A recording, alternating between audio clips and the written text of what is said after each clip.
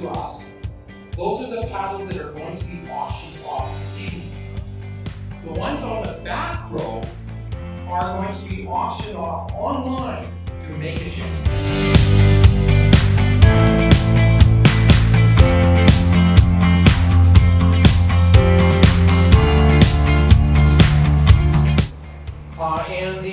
Ones, the white sheets, are going to be coming off around 8.15. There's some really important people that have been part of my journey that are here also. Thank you to Fresh Kitchen for providing food tonight.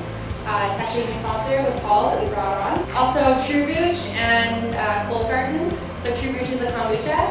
Um, and then the volunteers that are here tonight. So everyone who's wearing the red shirts are volunteers. They're donating their time. So please give them a high five, fist bump, pat them back.